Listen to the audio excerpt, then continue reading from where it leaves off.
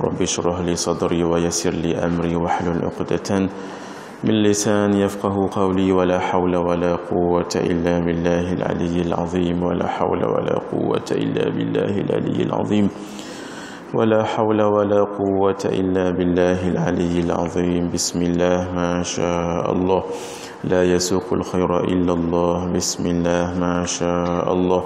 لا يصرف السوء إلا الله. بسم الله ما شاء الله. ما كان من نعمة فمن الله. بسم الله ما شاء الله.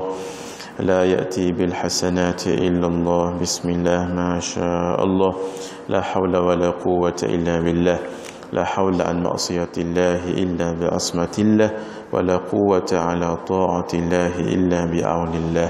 خير ما أحييكم به. تحية الإسلام وتحية الإسلام السلام السلام عليكم ورحمة الله وبركاته. إلى حضرة النبي المصطفى رسول الله صلى الله عليه وآله وصحبه وبارك وسلم وإلى كافة الأنبياء والمرسلين والملائكة المقربين وإلى آله الطيبين الطاهرين وأصحابه الأكرمين والتابعين وتابعيهم وإلى جميع أولياء الله الصالحين والشهداء والعلماء والفقهاء والمحدثين وإلى سائر مشايخنا ومشايخ مشايخنا وأهل أسانيدنا وسلسلاتنا وإلى أرواح أموات المسلمين وإخواننا الحاضرين والغائبين وخصوصا إلى روح الإمام حجة الإسلام وبركة الأنام زين الدين بحامد محمد بن محمد بن محمد الغزالي رحمه الله وإلى الحبيب زين بن إبراهيم بن سميد حفظه الله وإلى صاحب هذا الكتاب الحبيب محمد أمين ابن عدروس الحسيني. شيء لله لهم الفاتحة أعوذ بالله من الشيطان الرجيم. بسم الله الرحمن الرحيم. الحمد لله رب العالمين. الرحمن الرحيم. مالك يوم الدين. إياك نعبد وإياك نستعين. اهدنا الصراط المستقيم. صراط الذين أنعمت عليهم غير المغضوب عليهم ولا الضالين. آمين. Kita baca Fatihah sekali untuk almarhum Tuan Haji Saleh bin Musa سيكدا على هذه النية وعلى كل نية صالحة. الفاتحة. أعوذ بالله من الشيطان الرجيم. بسم الحمد لله رب العالمين. الرحمن الرحيم. مالك يوم الدين. إياك نعبد وإياك نستعين. اهدنا الصراط المستقيم. صراط الذين أنعمت عليهم غير المغضوب عليهم ولا الضالين. آمين. الحمdulillah kita syukur pada Allah Subhanahu wa taala dapat kita solat subuh secara berjamaah jangan kita lupa nanti lepas uh, kuliah masukkan duit dalam tabung surau ataupun tabung masjid kita. Ana, supaya kita termasuk di dalam doa para malaikat. Allahumma a'ti munfiqan khalafa. Ya Allah gantikanlah orang yang menginfakkan hartanya mendermakan hartanya itu suatu ganti yang lebih baik dan jangan termasuk doa yang satu lagi itu wa'ti mumsikan talafa ya Allah binasakanlah Ya Allah, bagikanlah orang yang suka menahan hartanya ini kebinasaan pada hartanya. Itu untuk kita dapat keberkatan di setiap pagi. Kalau tidak kesempatan datang ke surau masjid, sediakan tabung dekat rumah. Itu namanya tabung subuh. Nah, sama-sama kita buat. Kita bersedih juga dengan pemergian seorang yang sangat alim sifat 20 ilmu tauhid dalam dunia Melayu kita ni guru kami dan guru sebahagian tuan-tuan Tuan Guru Haji Saleh si Kedah beliau ini kalau tidak keterlaluan saya katakan orang paling alim sifat 20 di Malaysia sekarang ini nah paling alim di ketika hayat beliau sebab beliau murid senior senior kepada tuan guru Pak Da'i. Pak Da'i ini orang yang paling digeruni di Makkah. Orang Melayu kita. Sifat 20 tu masya-Allah tabarakallah. Beliaulah yang menterjemah sifat ma'ani lain daripada yang lain. Sifat ma'ani yang tujuh itu qudrah, iradah, ilmun, sama, basar uh, qudrah iradah ilmun hayat sama basar kalam. Ketika orang lain menterjemah qudrah dengan yang berkuasa beliau tidak nak terjemah macam tu. Beliau terjemah sifat itu namanya pekuasa sebab kalau yang berkuasa Yang berkuasa bermaksud Allah yang berkuasa itu jadi isim Jadi zat kita bukan bicara tentang zat Kita bicara tentang sifat. Kalau dikatakan berkuasa Berkuasa itu adalah uh, Amrun i'tibari Yang tidak nampak Sama juga mendengar. Mendengar itu adalah Satu amrun i'tibari yang kedua adalah ta'alluq. Sebab itu beliau tidak nak terjemah mendengar sama itu dengan mendengar tetapi pendengar. Sebab pe itu bila disebut pe benda itu wujud. Sifat ini sifat yang wujudi sifat yang thubuti. Nah contoh kita katakan penyapu. Penyapu ha, memang nampak batang penyapu itu tapi kalau kita katakan menyapu tak nampak mana satu yang menyapu. Menyapu tu mana? Nampak tak dengan panca indera? Tak nampak. Yang menyapu itu mana menyapu? yang menyapu? Kataan menyapu. Mana yang menyapu?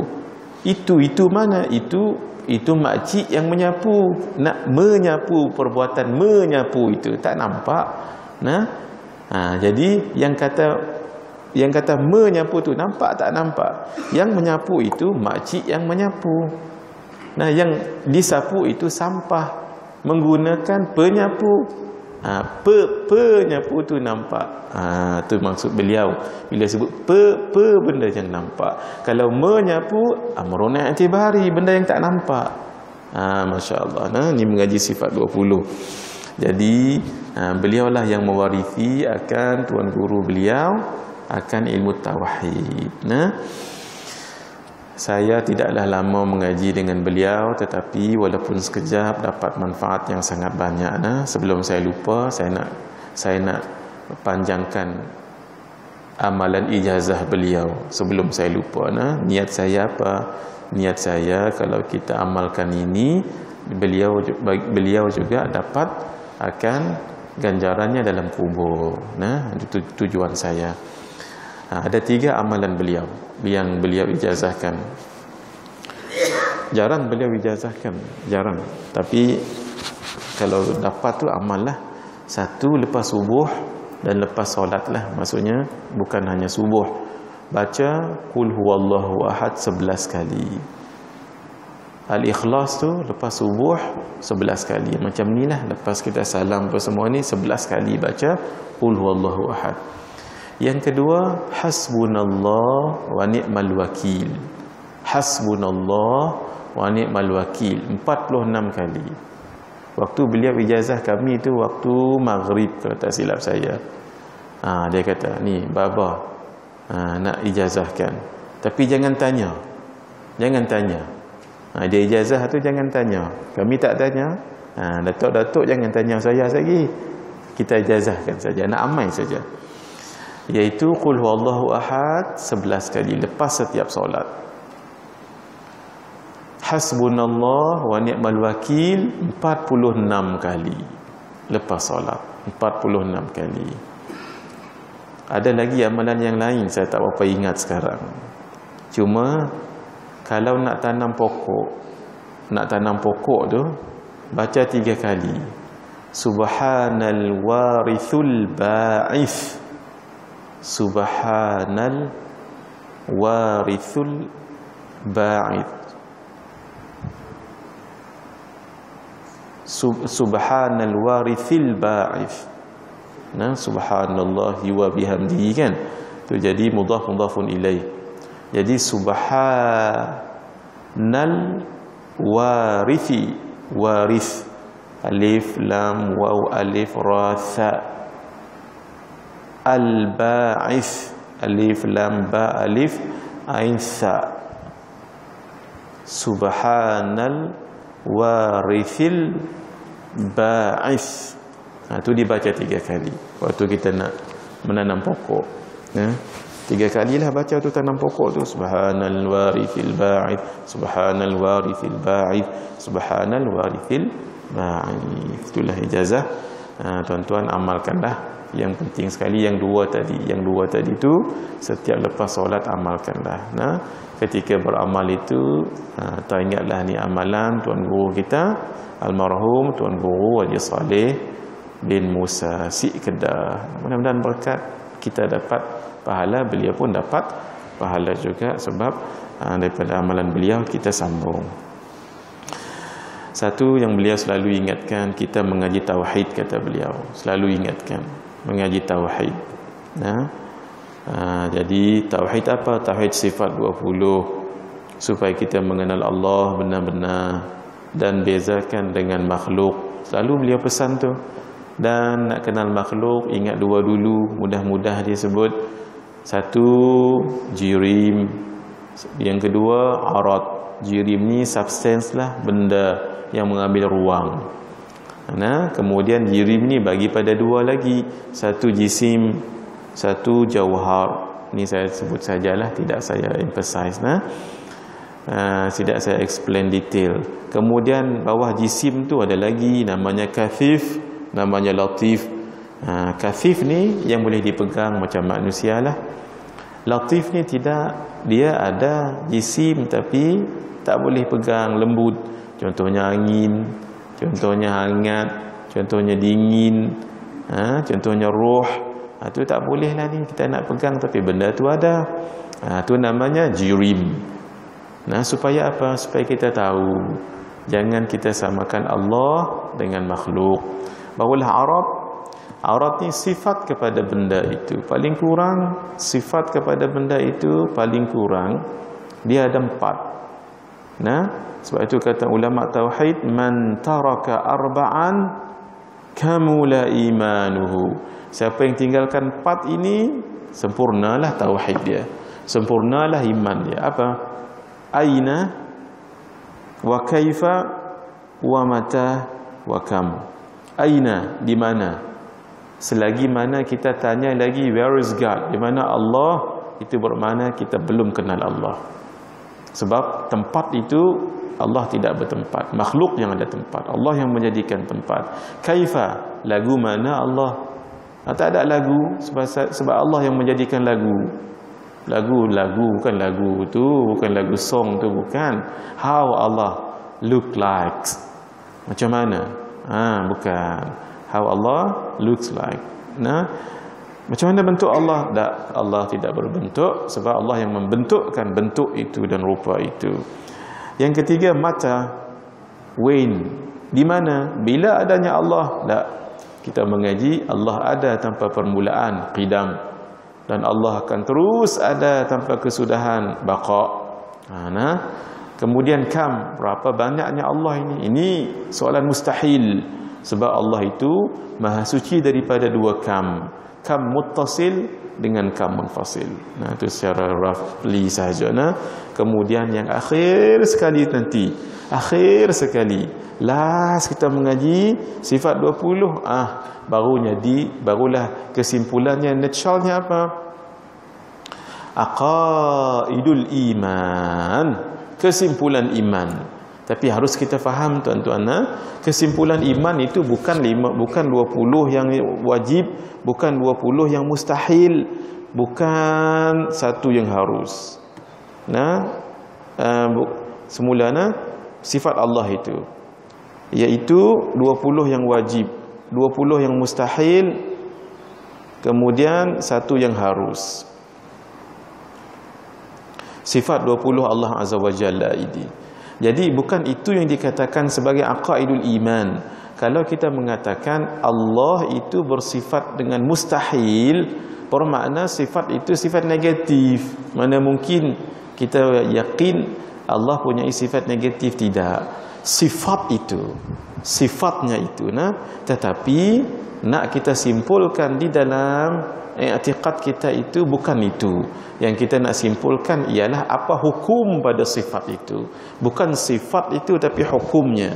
Apa? Bila kita sebut tentang yang wajib bagi Allah itu ah maka kesimpulannya apa? Kesimpulannya ialah wujubul wajibat.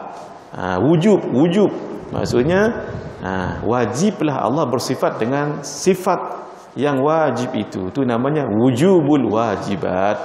Adapun yang mustahil itu banyak tu 20 tu. Yang tafsil yang ijmalnya banyak sangat. Ah apa itu? Bukan sifat itu yang ada pada Allah. Nah yang kita yakinnya apa? Istihalatu almustahilat ha ni mengaji lah sifat 20 ni wujubul wajibat istihalatu almustahilat. Kemudian jawazul jaizat. Ha, yang harus bagi Allah itu itu harus bagi Allah. Nah bukan sifat itu yang kita bicarakan yang kita nak bicarakan. Diri kita ini beriman dengan ha, sifat-sifat tadi. Apa hukumnya? Hukumnya adalah wujubul wajibat istihalatul mustahilat jawazul jaizat nah itu kesimpulannya Ha, kalau rasa pelik yang saya sebut ni bukan benda itu salah tapi ilmu kita tak sampai lagi. Nah, tu tujuannya ni memang guru kita sengaja bawa benda-benda yang supaya kita ni eh what is that? This is the first time I heard. Uh, that means you have to learn more and more. Itu ha, tujuannya. Nah, bismillahirrahmanirrahim. Tak ingat saya kat mana saya berhenti. Yang muslimat banyak dah saya baca. Yang muslimin berapa? Tak tahu. Ha, siapa ada catatan? Mengaji muka surat berapa tak tahu 35 ha, 35 kat mana tu Datuk? Di antara? Muka surat 35 yang saya punya mungkin beza sikit dengan yang muka adab yang ke berapa 35 34 ha, di antara amalan sulit untuk tidur.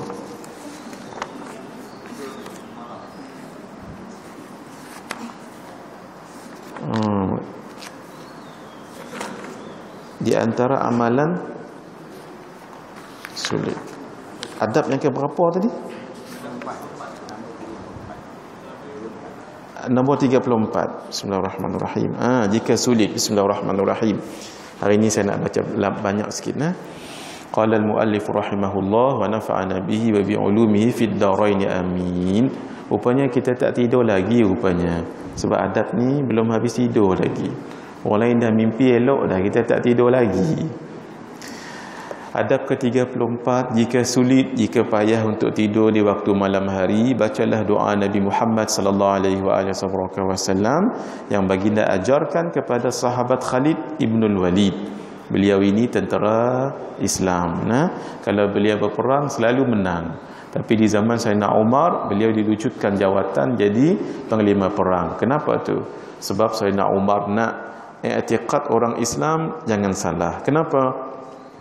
Jangan nanti dikatakan kalau Khalid Ibn Walid lead perang mesti menang. Dia lead menang mesti uh, perang mesti menang. Lead perang mesti menang. Kalau menang Khalid Al-Walid lah tu. Orang Sayyidina Umar tak mau nak jaga akidah.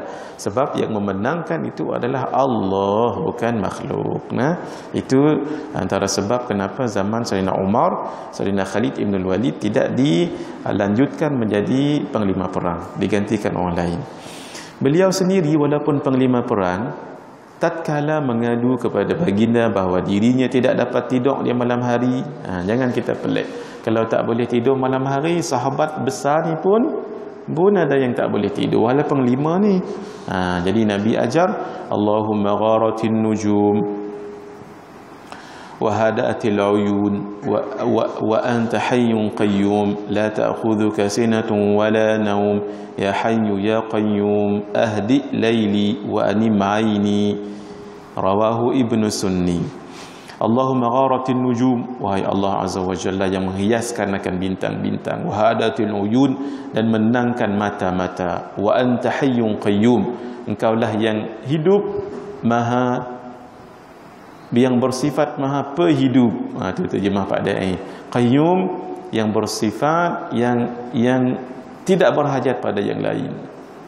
Semalam ada sahabat saya cerita. Dia dengan satu kuliah ustaz di tempat dia waktu subuh. Jadi ustaz tu ajar setiap hari baca ya hayyun ya qayyum. Ya hayyun ya qayyum. Seribu kali ustaz tu ajar ni saya tak ijazahkan ni saya cerita saja. Ya hayyun ya qayyum ya hayyu ya qayyum ya hayyu ya qayyum. Dia amal dia amal first time dia dengar tu terus dia amal jadi lepas dia amal tu dia terkejut. Kenapa? Dua hari lepas dia dapat hadiah cabutan bertuah dekat kompleks PKNS kan ada pameran buku sekarang ni. Dia dapat hadiah tu nilainya 500 ringgit. Tak pernah-pernah dia dapat. Ha, Masya Allah satu yang kedua sema semalam. Maksudnya cerita tadi dua hari lepas ni semalam. Ha, semalam kan ke kemarin kemar semalam tu kan. Ha, maksudnya dua hari lepas lah ni uh, cerita kita ni tiga hari lepas dan dua hari dan semalam. Nah jadi semalam tu dia cerita dengan saya semalamnya lagi. Maksudnya dua hari lepas. Dia amal lagi. Ya hayy ya qayyum ni seribu. Ada orang order buku dengan dia seribu ringgit. Orang order dengan dia seribu ringgit buku. Ha, barakah mengamal ya hayyu ya qayyum seribu kali. Ha, saya tak ada lah ijazah tu tetapi ijazah umum lah kalau siapa-siapa nak mengamalkannya silakan saja. Nah, kenapa Allah tunjukkan kita dapat lihat ataupun berpengalaman? Satu ya supaya kita yakin. Nah, supaya kita yakin. Ada juga orang yang beramal tak dapat mungkin Allah uh, belum bagi masanya lagi. Takut nanti kalau dia beramal uh, nanti dapat benda tu jadi riak mungkin. Ataupun dia beramal jadi dia beramal jadi dia beramal jadi seolah-olah Allah pula jadi kuli pada dia. Dia minta doa mesti dapat mesti doa minta mesti dapat. Seolah-olah Allah wajib ikut apa yang ha, begitu pula.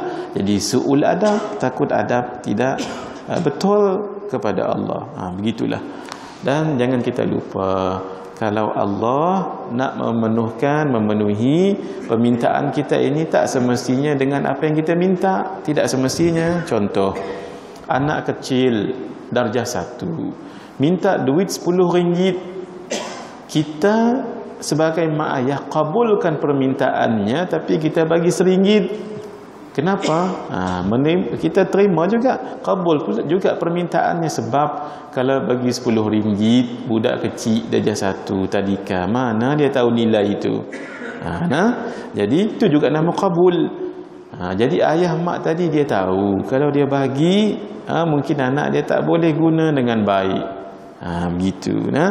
Kadang-kadang dia minta yang lain kita bagi yang lain. Contoh dia nak makan buah durian kita tak bagi kita bagi kari pap sebab dia demam baru makan uh, pil kalau makan durian nanti neutralize balik benda tu kita tahu tu kita penuhi tak permintaan dia? Naam tapi kita penuhi dengan tak bagi durian tapi bagi lain. Ha, begitu juga.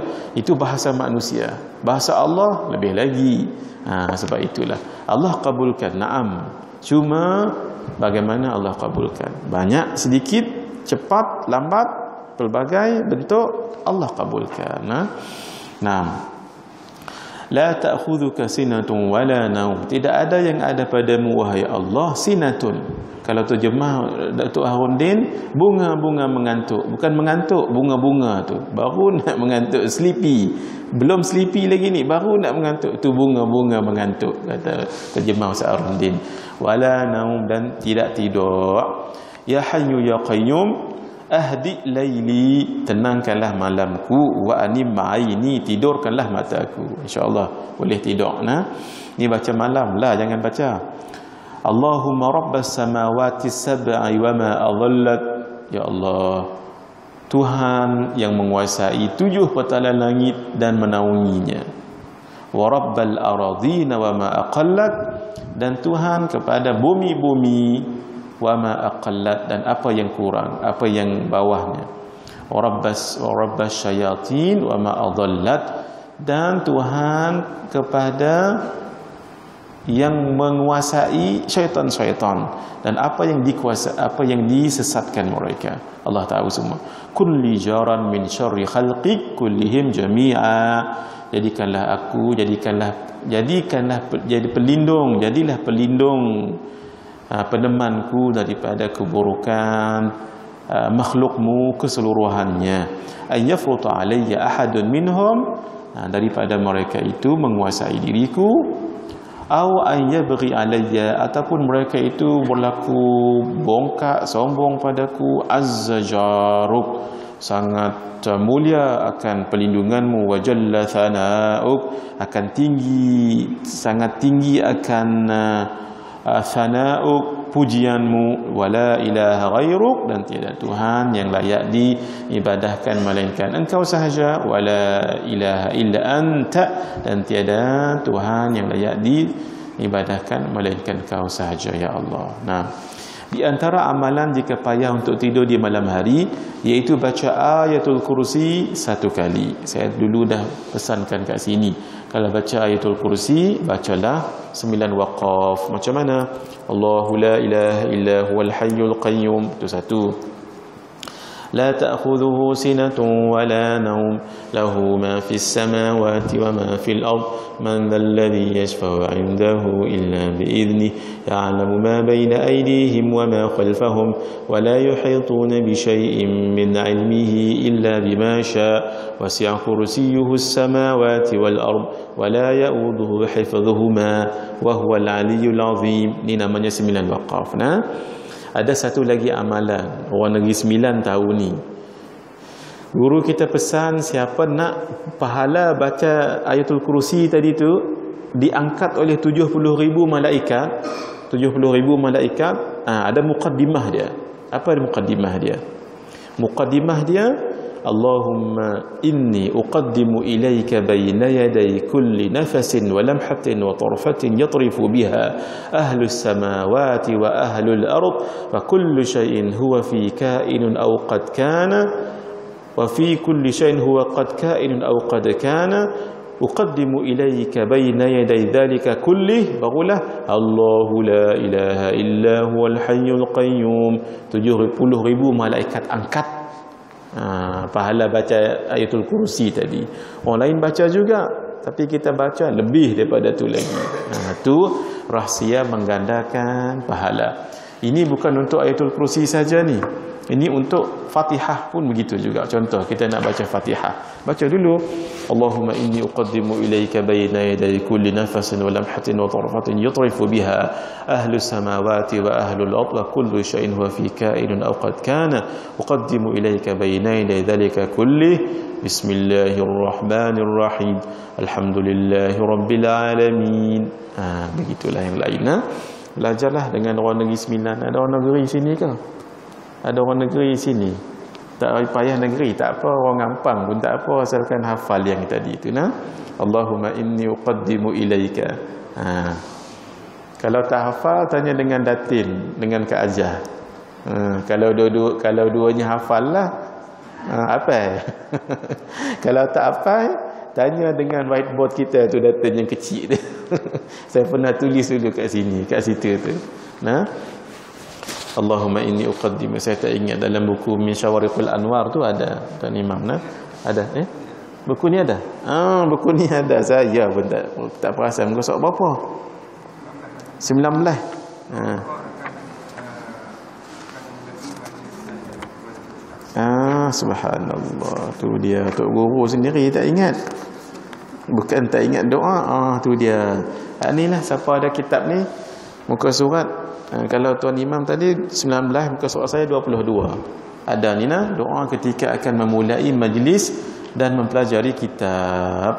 Allahumma inni uqaddimu ilaika baina yaday kulli nafasin wa labhatin wa tarfatin wa khatratin tambah sikit wa yatrifu biha wa tarfatin yatrifu biha ahlus samawati wa ahlul ard wa kullu shay'in huwa ka wa kullu shay'in huwa fi kainin Oh ni lain sedikit nah. Wa kullu syai'in huwa kainun fi ilmika aw qad kana. Yang kita hafalnya wa kullu syai'in huwa fi kainun aw qad kana. wa kullu shay'in huwa ka'inun fi ilmika aw qad kana uqaddimu ilayka bayna yaday dhalika kulli ha, ni lebih lengkap lagi nah ha, bacalah kenapa ni sebab seolah-olah kita katakan ya Allah aku persembahkan yang apa yang aku nak baca ku ini persembahkan padamu dengan disaksikan apa? Bayna yaday kulli nafasin. Di hadapanku setiap yang bernyawa. Siapa yang bernyawa? Manusia. Nah? Dan uh, malaikat yang lain. Walam hatin. Dan setiap kerdipan mata. Ha walahzatin. Setiap detik. Wa khatratin setiap khatar. Sama juga detikan uh, gerakan goresan khatrah wa tarfatin dan setiap yang berdetik yatrifu biha ahlus samawati wa ahlul ard yang berdetik olehnya yang dilakukan oleh penduduk-penduduk langit dan penduduk-penduduk bumi. Ha, maksudnya ya Allah semuanya jadi witness apa yang saya nak baca ni. Ha, sebab itu pahalanya besar sangat. Bismillahirrahmanirrahim. Kita sambung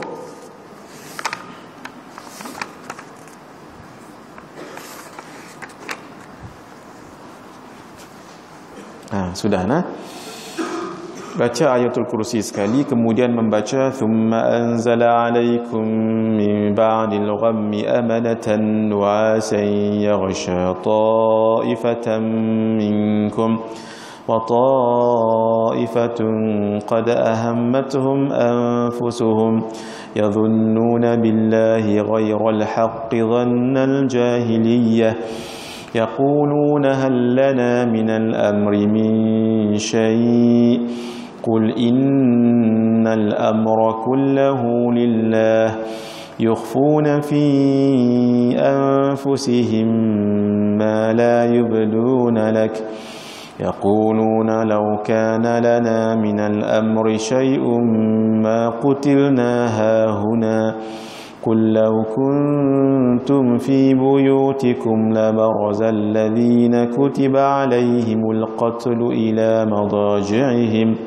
وليبتلي الله ما في صدوركم وليمحص ما في قلوبكم والله عليم بذات الصدور. Baca ayat tu. Nah, nanti lihat terjemahan dalam kitab translation. Tidak tidur setelah solat asar kecuali jika terdapat uzur. Jangan tidur lepas asar kecuali letih sangat. Sebab nabi mengatakan man nama ba'da salatil asri fa asabahu lamam fala yalumanna illa nafsah. Riwayat Abu Ya'la. Sesiapa yang tidur setelah solat asar kemudian terkena penyakit gila maka janganlah menyalahkan sesiapa pun kecuali dirinya Memang sungguh tidur lepas asar ni kadang-kadang dia penderah sampai sebelum nak maghrib. Bila bangkit nak maghrib tu, eh siang ke malam? Nak kata malam, ha, siang. Nak kata siang, macam malam dia jadi nak jadi macam gila, nak contohnya. Ha, pasal itu nah jangan tidur lepas tu. Kecuali letih sangat tak apalah faedah. Faedah ni bukan what you learn the lessons from the discussion, bukan faedah ni benda-benda yang jarang kita tahu. Tetapi tersimpan di dalam dada para alim ulama ataupun di dalam kitab-kitab. Itu namanya faidah saya nak bagi satu tips pada tuan-tuan. Kalau nak beli kitab kalau kitab tu ada faidah faidah faidah beli kitab tu.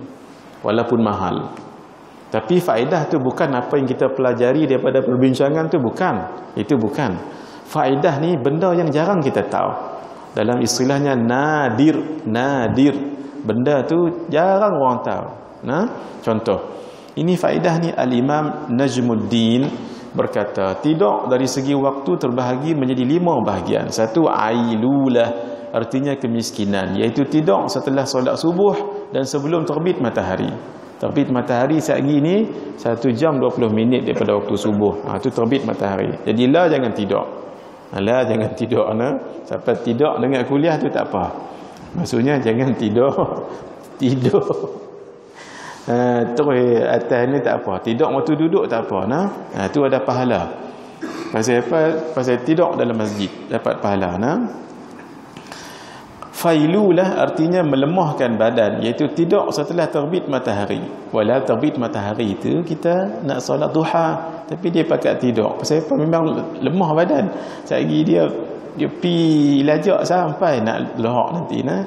Ha, jadi badan jadi lemah. Qailulah artinya menambah kecerdasan akal fikiran iaitu adzan zuhur. Maksudnya sebenarnya sebelum adzan zuhur, saat sebelum adzan zuhur.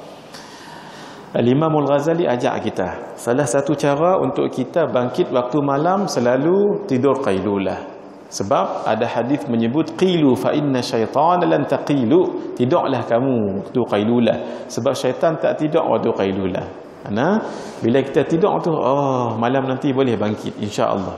Nah, itu adalah rahsia bagaimana nak bangkit waktu malam, tengah malam. Nah, tidur qailulah. Antara guru saya yang saya tengok jarang tinggal qailulah Syekh Fahmi Zamzam. Syekh Fahmi Zamzam saat lagi nak lohak jangan pergi jumpa dia. Ha, pasal waktu tu dia tidur walaupun 5 minit hairan saya tengok. Nak fly ni boleh lagi tidur. Subhanallah. Sebab dia amalan surah Al-Kahfi. So, ayat berapa itu kita kongsi? Surah Al-Kahfi itu innal ladhina amanu wa amilus salihati kanat lahum jannatul firdausi nuzula sampai habis. Berapa tak ingat saya.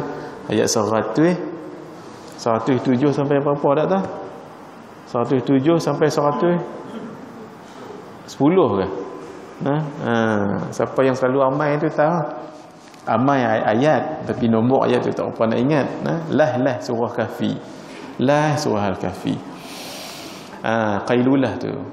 Ha, selalu amaikan dapat bangkit tengah malam insya-Allah hailulah pencegah antara dirinya dan solat zuhur iaitu tidur setelah azan zuhur dan sebelum melakukan solat zuhur ada juga ulama katakan ini adalah qailulah ghailulah artinya kehancuran dan kebinasaan. Iaitu tidur setelah asar dan sebelum maghrib. Kata mamai tadi nah.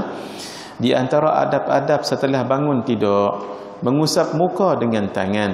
Ketika bangkit daripada tidur takut-takut ada semut dekat muka ke ataupun ada uh, benda lain ke uh, nah dan menggunakan siwak. Siwak tu boleh dengan siwak betul kayu siwak macam kayu siwak ni kayu siwak ni nah.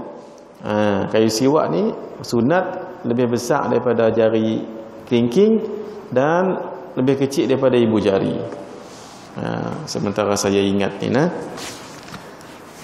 Kita kalau nak potong kuku ada empat cara nak potong kuku. Potong hari Khamis. Potong hari Khamis ataupun hari Jumaat pagi. Nah, macam mana cara? Tengok cuba tuan-tuan ingat elok nah. Ada empat cara potong kuku ni. Cara pertama yang Nabi ajak kepada Sayyidatuna Aisyah. Ya Aisyah, idza qallamtil adfar kalau kamu nak potong kuku fabda'i bil wusta mulakan dengan jari tengah. Ha nah. Macam mana caranya? Empat cara ni semua cara uh, potong kuku tangan ni dengan kedudukan berdoa. Ha, doa macam ni. Kalau buat doa ni baru nampak. Kalau lagu ni tak nampak lagu ni baru nampak nah. Mulakan dengan tengah. Ni namanya wusta.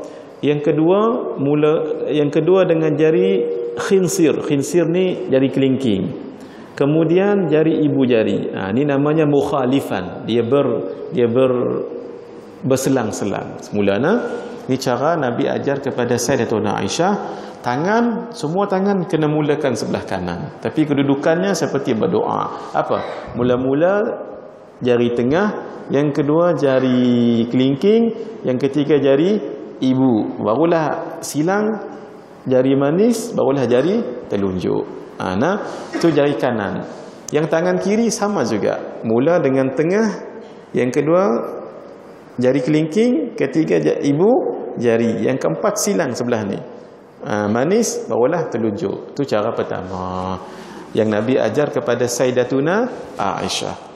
Ini umum. Nabi sebut man qassa adhfarahu siapa yang memotong kukunya. Mukhalifan secara bersilang lam yara bi ainihi ramada. Matanya tak sakit. Lagu mana? Ni pelik sikit cara dia. Cara dia sama nah? Tangan ni kita buat cara berdoa tapi dia mula paling kiri dulu. Apa dia? Jari kelingking. Tapi dia bersilang. Kelingking dulu barulah jari tengah barulah ibu jari. Baru silang barulah jari manis barulah jari telunjuk habis sebelah kanan. Baru sebelah kiri mulakan paling kiri. Jari ibu jari tengah jari kelingking tunjuk telunjuk dan manis. Ha, boleh tadi tu. Dia ada empat cara ni jangan ingat mana satu pun tak apa jangan empat-empat lupa saya ulang cara pertama tadi. Saya dah tunang Aisyah. Cara saya tunang Aisyah tadi apa dia? Tengah kelingking ibu manis telunjuk. Ni sama.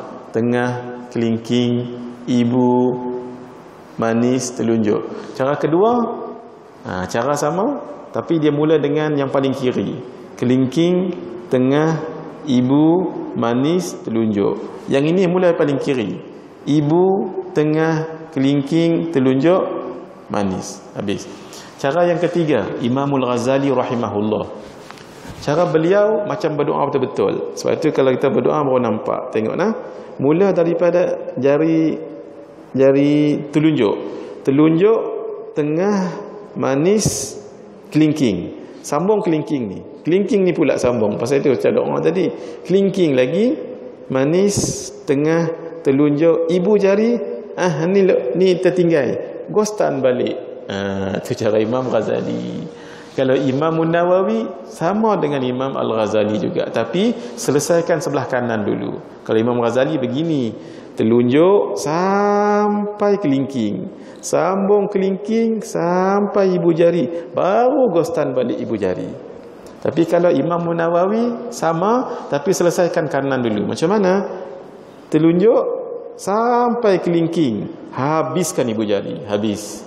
Ha, bawalah di sini sampai habis. Ha tu cara Imam An Nawawi boleh boleh ingat ni mengaji nah tak apa. Tanya nanti dengan rakaman tu nah. Kalau tak ingat. Itu jari tangan. Kalau jari kaki senang. Kalau jari kaki kaki lagu tu lah. Jangan di jangan di doa-doa kaki tu. Saya kita selio kaki macam kedudukan kan tangan kita. Ah senang saja. Macam mana datuk? Daripada kaki kanan kelingking kanan bawa kepada ibu jari kanan. Kaki itu patah sambung ibu jari kaki sampai kelingking kiri. Tak ada apa. Hak tu ya Nah, ha, itu paling senang. Ha, kaki paling senang. Daripada kelingking uh, jari uh, kaki kanan terus kelingking kaki kiri. Ha, nah. Kalau tak ingat tanya dengan ah kamera, nah. Rakaman tu. Habis pakai siwak, pakai siwak tak pun ubat gigi berus gigi boleh kemudian baca doa berikut ini alhamdulillahilladzi ahyana ba'da ma amatana wa ilayhi an-nushur alhamdulillahilladzi yuhyil mauta wa huwa ala kulli shay'in qadir alhamdulillahilladzi radda alayya ruhi wa afani fi jasadi wa adina li bi dhikri alhamdulillahilladzi ba'athani saliman sawiya ashhadu anna allaha yuhyil mauta wa huwa ala kulli shay'in qadir panjang doa ni hak depan tu je kita apai. Alhamdulillahillazi ahyana ba'dama amatana wa ilaihi nusyur kadang-kadang tersasul. Alhamdulillahillazi at'amana wa saqana wa ja'alana minal muslimin. Pasal malam tadi makan lem chop malam tadi sedap nah jadi terbawa-bawa. Ha, saya terjemah hak, hak atas tu nah. Segala puji bagi Allah yang telah menghidupkan kami setelah mematikan kami. Tidur tu kan saudara mati. Dan kepadanya nanti Allah kita akan dikumpulkan. Segala puji bagi Allah. Yuhyil mauta yang telah menghidupkan orang-orang yang mati wa huwa ala kulli syai'in qadir. Allah atas setiap sesuatu berkuasa. Alhamdulillahilladzi radda alayya ruhi. Segala puji bagi Allah yang telah mengembalikan roh kepada diriku. Wa afani fi jasadi. Memberi akan afiat kepada jasadku. Sebab itu kalau kita ziarah orang sakit sunat kita sujud syukur. Sunat sujud syukur. Tapi jangan sujud depan dia jangan.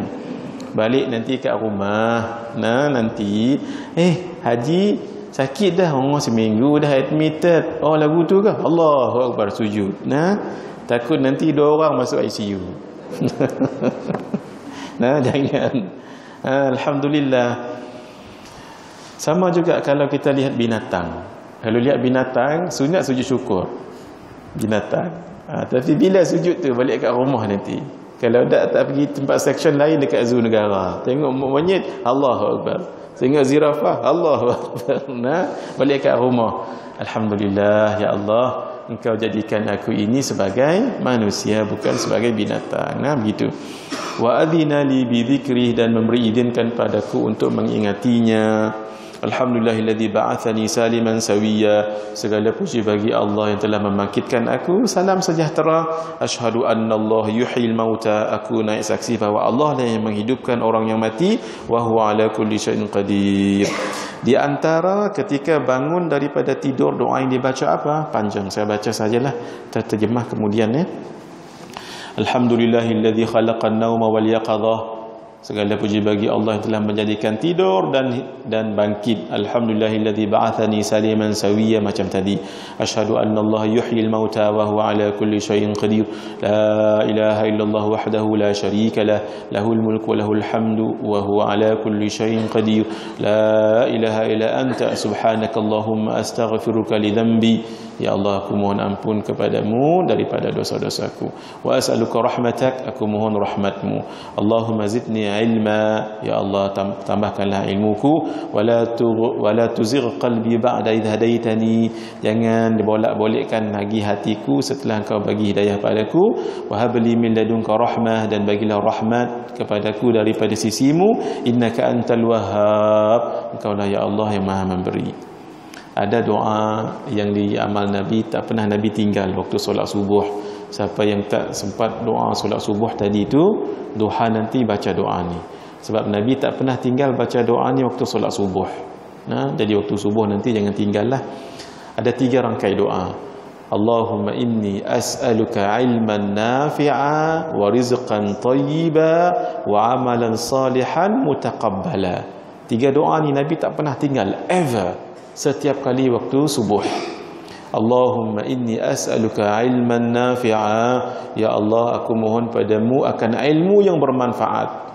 Nanti rujuk dalam kitab Hidayatus Salikin fi Suluki Maslakil Muttaqin. Syekh Abdul Samad Al-Falimbani sebut ada tujuh ciri ilmu yang bermanfaat. Jangan asalkan ada ilmu sahaja. Mohon maaf ya mohon maaf. Makin tinggi ilmu agamanya makin sombong dia. Makin dia merendahkan orang lain Allah baru ni sedih juga saya lah. Ketika kematian tuan guru kami tuan Haji Saleh tuan guru Haji Saleh ada yang menulis kata-kata yang tak elok dalam Facebook. Allah. Saya orang bagi gambar dia dengan dengan saya. Oleh kerana WhatsApp group tak boleh nak kata apa dapat-dapat saya tengok terus saya delete. Terus saya delete saya tak mau tengok wajah dia saya tak mau tergambar wajah dia tu dalam fikiran saya sehingga saya membencinya. Nah, biar tengok tengok saat lagu tu nak buat lagu mana orang dah bagi tengok saat terus saya delete. Nah, tak sanggup saya tengok orang lagu ni. Jadi paling-palinglah kita kata dia ni jahil tu saja. Dia ni jahil. Nah, Ha, kalaulah dia ni tahu akan hakikat tuan guru yang sangat mulia ini ya Allah dia tak akan sebut benda ini. Nah, ha? yang kedua kita anggap baik sajalah dia ni jahil. Yang kedua memang busuk hatinya. Sebab sesuatu yang keluar baik daripada mulut tu menunjukkan hatinya baik. Nah, kalau dia buruk bermakna hatinya buruk, busuk orang lagu ni. Ha, sebab itu disebut oleh ulama qabihul kalam silahul liam. Qabihul kalam silahul liam. Perkataan yang buruk-buruk itulah senjata orang yang mengeji. Nah yang ketiga takut-takut suul khatimah. Naudzubillah min dzalik nah tengoklah kematian beliau tu 15000 orang. Kita nanti meninggal kita pun tak tahu. Jangan-jangan orang tak tahu kita meninggal. Jangan-jangan Nauzubillah lah mohon jangan jangan mohon ha? Jangan-jangan meninggal dah tiga hari kat rumah. Tak disedar oleh orang. Berulat dekat situ. Nauzubillah. Mohon maaf kalau rasanya kasar sedikit. Ha, jangan sebarang bercakap tentang ulama ni nah. Tengok sahaja berapa ribu murid beliau. banding dengan kita ni Berapa banyak dah ilmu dia ajar Berapa ramai dah orang yang dia ajar tu Mungkin dah jadi alim ulama' sekarang ni. Saya tahu berapa orang dah jadi alim ulama' uh, Jadi pendakwah Sebahagiannya mungkin dah jadi wali Allah Atas didikan beliau ini. Kita baru nak cerita benda lagu ni nah? Na'udzubillah lah. Ya Allah itulah manusia ni. Itu kita minta tadi Jangan makin tinggi ilmu Makin kita jadi jauh daripada rahmat Allah satu.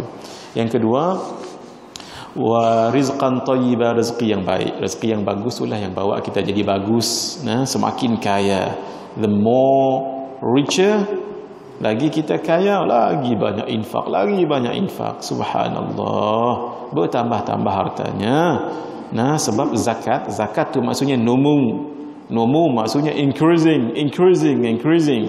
Lagi banyak menderma lagi banyak datang. Lagi banyak menderma lagi banyak datang antara sahabat Nabi yang kaya raya siapa? Sayyidina Abdul Rahman bin Auf. Beliau ni setiap pagi begini beliau akan derma 100 dirham. Satu dirham bersamaan dengan sekilo daging harga dia.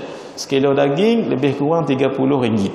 Jadi dia derma setiap pagi ni 100 dirham darab dengan 30, 3000. 3000. Allah balas balik malam dia dapat keuntungan 1000 dirham. Ha, satu balas sepuluh. Sebab tu tak putus-putus duit beliau ni. Allah. Sayyidina Abdul Rahman bin Auf. Sebab apa? Allah janji. Tambah lagi, tambah lagi. Yang terakhir, wa amalan salihan mutaqabbala. Ya Allah, kami mohon padamu amal salih yang diterima. Ada juga orang amal soleh tapi tak diterima. Contoh, solat itu amal soleh. Tapi dia solat kerana riak, mardud, nah, tidak diterima. Nah jadi kita minta biar diterima. Nah orang bertanya apa hukum orang pergi haji pakai duit haram? Dia pergi haji tapi pakai duit haram. Ni cerita ni cerita soalan fiqah zaman dulu. Nah jadi ustaz tu jawab orang itu tadi pergi haji naik unta dengan duit haram yang hajinya untanya bukan dia. Nah untanya tu pergi haji bukan dia. Ha, hajinya sah tapi tak diterima oleh Allah. Buat apa guna? Nah ha, jadi lagu itulah di antara di antara doa ketika bangun daripada tidur alhamdulillahilladzi ahya nafsi ba'da mautiha walhamdulillahilladzi yumsikus yumsikus samaa an taqa 'ala al-ardi illa bi idzni walhamdulillahilladzi yumsiku allati qada 'alayha al-maut wa yursilu al-ukhra ila ajalin musamma saya tak terjemahnya panjang berdasarkan sabda Nabi sallallahu alaihi wasallam yaqidu syaitanu ala qafiyati ra'si ahadikum syaitan ni dia akan ikat dekat di hujung kepala kita ni idza huwa nama kalau orang tu tidur thalatha uqadin tiga ikat. Yadribu makana kulli aqdin dia akan sebut setiap kali dia mengikat tu alaika lailun tawil farqud panjang malam itu panjang tidurlah kata kata syaitan tu fa ini istayqadha. Kalau orang tu bangkit fa dzakarallah dia pun teringat akan Allah. Mungkin dia sebut alhamdulillah. Ataupun masya-Allah. Apapun in halat uqdatun. Terbuka satu ikatan. Kan tiga ikatan tadi. Ingat Allah terbuka satu ikatan. Fa in tawadda kalau dia berwuduk in halat uqdatun. Terbuka ikatan satu lagi. Fa in salla. Kalau dia solat solat apa? Solat fardu kah? Solat sunat kah? In halat uqdatun. Terbuka lah yang tiga itu. Solat subuh tu fa asbaha nashitan tayyiban nafsi. Maka jadilah dia pagi itu orang yang cergas cerdas dengan jiwa yang bersih. Wa illa kalau dak asbaha khabithan nafsi kaslanan. Kalau tidak jiwanya kotor malah orang tu. Ha nah selama ni berapa banyak ikatan dah kita tak buka selama ni? Hari-hari. Setiap kali tidur tiga. Tiga tiga tiga. Ha, kalau baru tahu hari ni Masya Allah berapa banyak ikatan dah tu. Ha, tapi insya Allah jangan risau ha? bila kita dah tahu amai saja Hadis yang kedua tu sama juga lebih kurang. Idza sayqadhal insanu min manamihi kalau seseorang itu bangkit daripada tidurnya ibtadarahu malakun wa syaitan berebut malaikat dan syaitan. Fayaqulul malak berkatalah malaikat iftah bi khair mulakan harimu dengan kebaikan. Ya Allah mulakan harinya dengan kebaikan. Uh, wa yaqulu syaitan syaitan mengatakan padanya iftah bi syarr bukakan harimu dengan kejahatan fa idza qala kalau orang tu membaca alhamdulillahilladzi ahya nafsi ba'da mautiha walhamdulillahilladzi yumsis yumsikus samaa an taqa 'ala al-ardi illa bi idni walhamdulillahilladzi yumsiku allati qada 'alayha al-maut wa yursilu al-ukhra ila ajalin musamma tarada al-malaku syaitan syaitan tu dihalau dia perambat syaitan malaikat dia peramat syaitan wa dhalla yaqla'uhu dan menjaganya sepanjang hari itu. Untunglah ha, kita dijaga oleh malaikat ha? ada satu kisah dekat Amerika saya tak ingat bila. Satu kawasan tu dikatakan black area.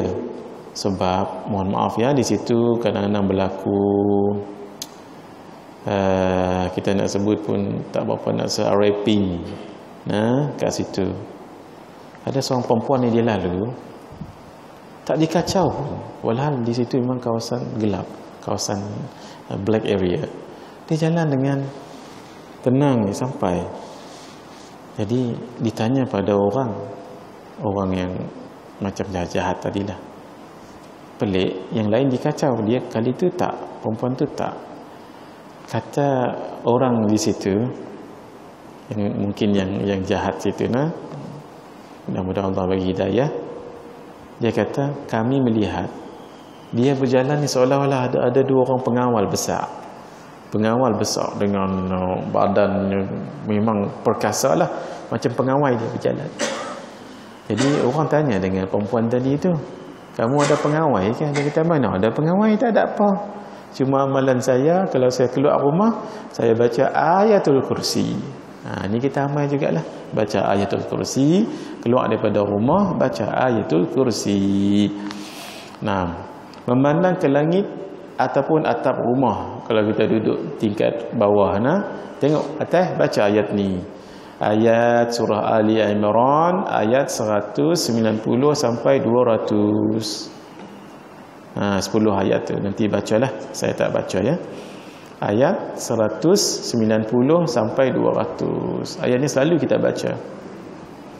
Inna fi khalqis samawati wal ardi wa ikhtilafil layli wan nahari la ayatin li ulil albab.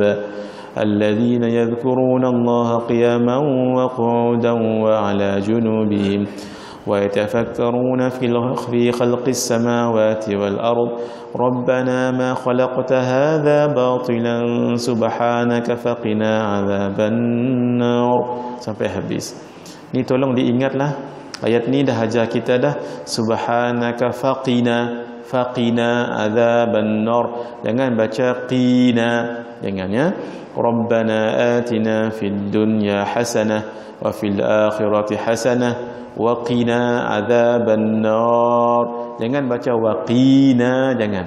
Kalau waqina wahai tuhan perempuan. Ha jaga-jaga tu. Kalau baca tu baca laju. Rabbana atina fid dunya hasanah wa fil akhirati hasanah. Waqina adzaban nar jangan baca waqina adzaban nar nah. Maksudnya ya Allah Tidaklah pula kita katakan lelaki tapi menunjukkan kekuasaan Allah itu. Kalau waqina wahai Tuhan perempuan, nah, kita baca waqina azaban nar, jauhkanlah kami daripada api neraka. Saya teringat Ramadan baru ni ada kawan kami daripada Sarawak hantar WhatsApp. Sekolah menengah dululah ni. Jadi bapak dia ni lepas dia puasa, buka puasa, dia tengok TV di hadapan di sementara maghrib lepas maghrib lah ni nak tunggu isyak. Ha, lepas buka puasa tu dia pun terlentang kaki menghadap ke TV.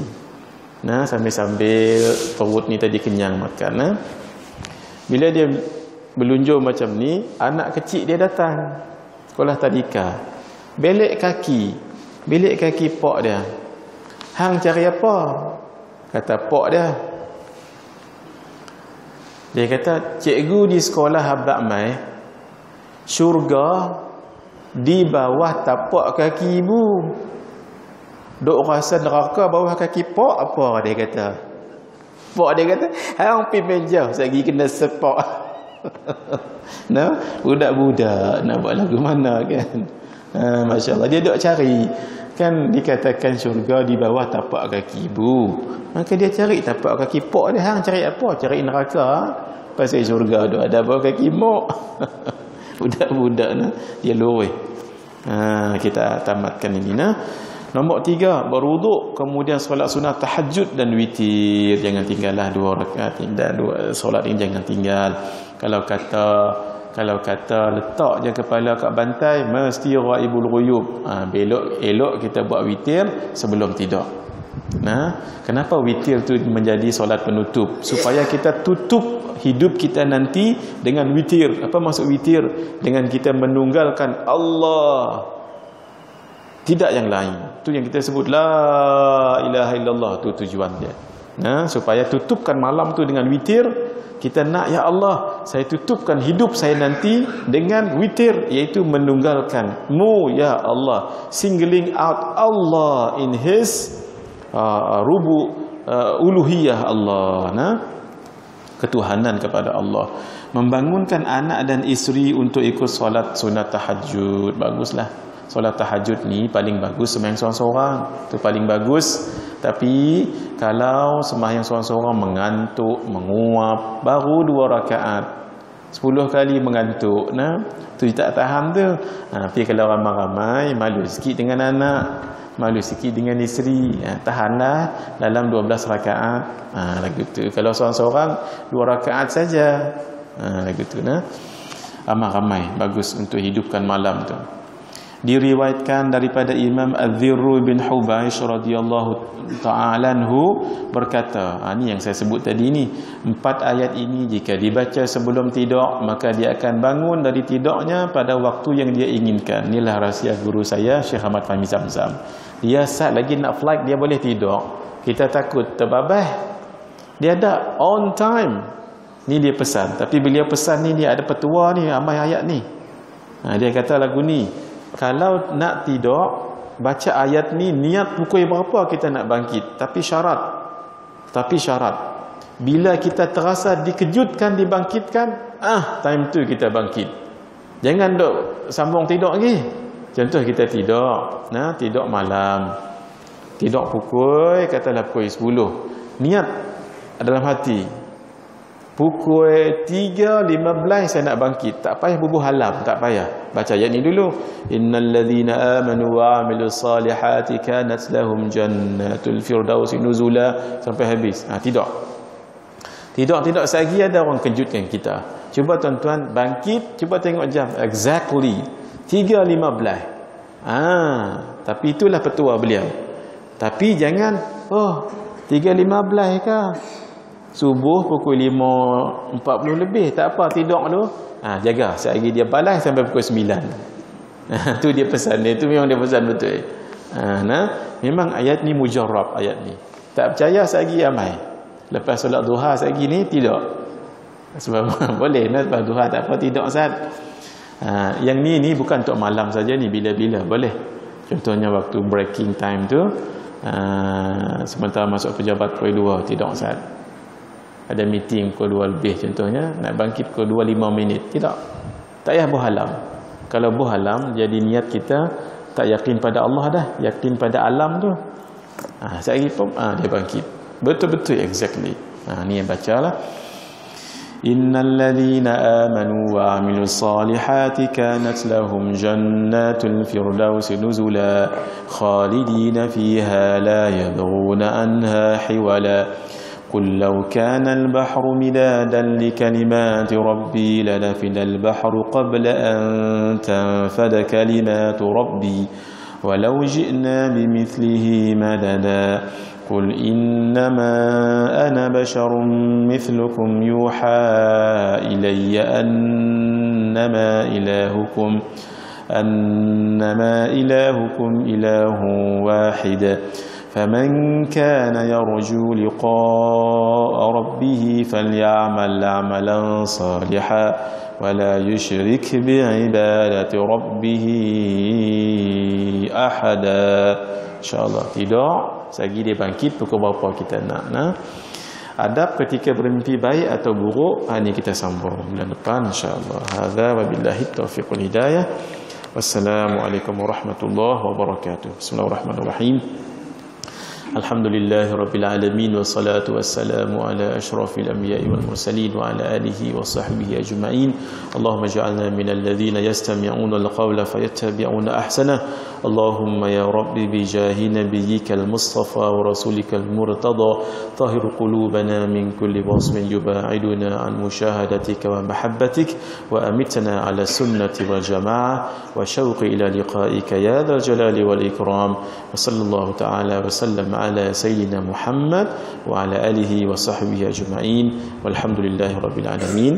والسلام عليكم ورحمة الله وبركاته.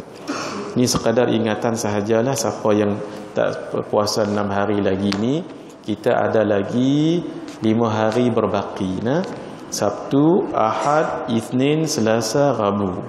Khamis tu masuk Zulqaidah. Siapa yang agak-agak tak lepas lagi ni Pi sajalah kenduri open house tak apa tengok saja cium bau. Cium bau saja. Habaq betul-betul. Habaq betul-betul. Ini saya dah betul-betul dah injury time dah ni.